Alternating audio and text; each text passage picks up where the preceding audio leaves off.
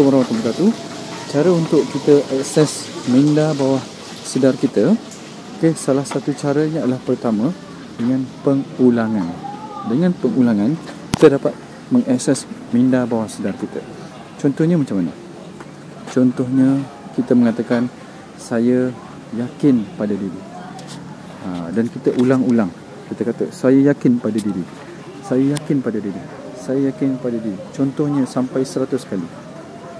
Apabila kita mengulang perkataan yang sama, minda bawah sedar kita ini akan terbuka untuk menerima sugesti itu. Dan apa buktinya? Buktinya adalah okey, pernah tak kita uh, bila kita melihat jam, kita akan lihat di satu sudut. Kerana di situlah kebiasaannya jam tu berada. Dan setiap hari kita lihat jam itu, tengok pukul berapa, kita lihat jam itu.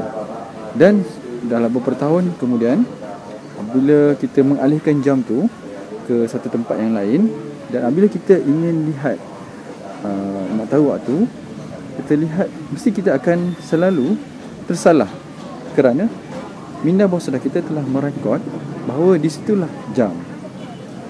Dan bila kita tersalah baru kita cari oh terlupa jam bukan di situ di sini dan dia akan salah beberapa kali mungkin satu dua kali dan sebab kerana pengulangan akan membuka pintu bawah sedar kita dan informasi akan masuk bila kita mengulang-ulang.